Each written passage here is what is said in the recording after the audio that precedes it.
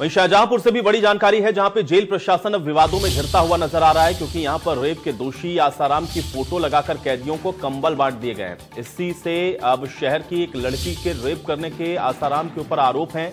अब पीड़ित के पिता ने इस घटना पर कड़ी आपत्ति को जताया है। जाँच की मांग भी पीड़ित के पिता ने की है।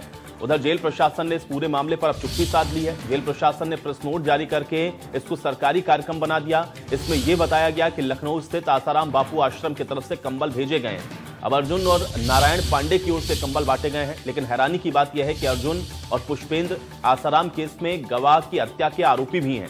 इसी जेल में वो बंद हैं, लेकिन फ़िलहाल वो जमानत पर हैं। सोमवार देर शाम प्रेस नोट और फ़ोटो वायरल होने के बाद इस मामले ने तूल पकड़ा है। इसके बाद सोशल मीडिया से उस फ़ोटो को भी डिलीट कर दिया गया है। तो शाहजहांपुर जेल से यह हैरान कर देने वाला मामला सामने आया है, जहाँ पे आसाराम की फ़ोटो लगी हुई कंबल को बांटा गया है। और ये फ़ोटो लगे हुए कंबल जेल के अंदर बांटे गए हैं। हैरान करने वाली बात यह है कि दुष्कर्म के दोषी आसाराम की फ़ोटो लगा करके इस कंबल को बांटा गया है। और शाहजहांपुर जेल में आसाराम की फ़ोटो लगा करके इन कंबल को बांटने के बाद जो तस्वीर सोशल मीडिया पर वायरल हुई है, उसके बाद ये मामला गर्मा गया है। अर्जुन और नारायण पांडे की ओर से बताया जा रहा है कि कंबल बांटे गए हैं। दोनों आसाराम के केस में गवाह की हत्या के आरोपी भी हैं। ये अपने आप में बेहद हैरान कर देने वाला मामला है, क्योंकि जेल प्रशासन ने ये जो कारनामा किया, उसके बाद से हड़कंप मचा हुआ है, और अब जेल प्रशासन के पास भी इसका कोई जवाब नहीं है। इसलिए इसको सरकारी कार्यक्रम बताया जा रहा है, जेल में आसाराम की फ़ोटो लगा करके जो कंबल बांटे गए हैं, उसके बाद ये मामला बेहद तूल पकड़ता हुआ नज़र आ रहा है।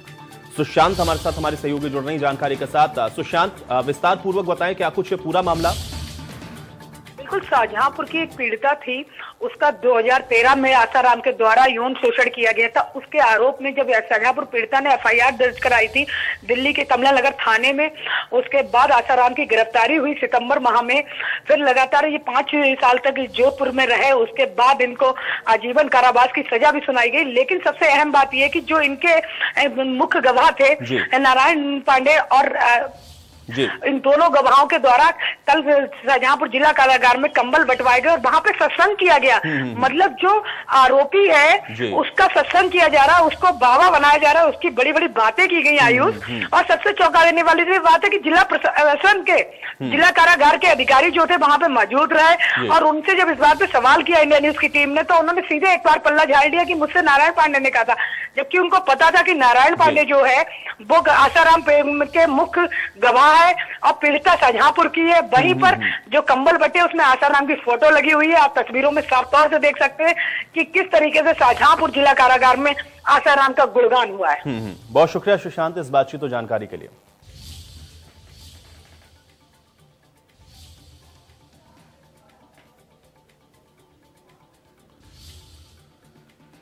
तो शाहजहांपुर से बड़ी जानकारी है, जहाँ पे जेल में आसाराम की फ़ोटो लगा करके कंबल बांटे गए हैं। शाहजहांपुर में ही पीड़िता के साथ दुष्कर्म का मामला है।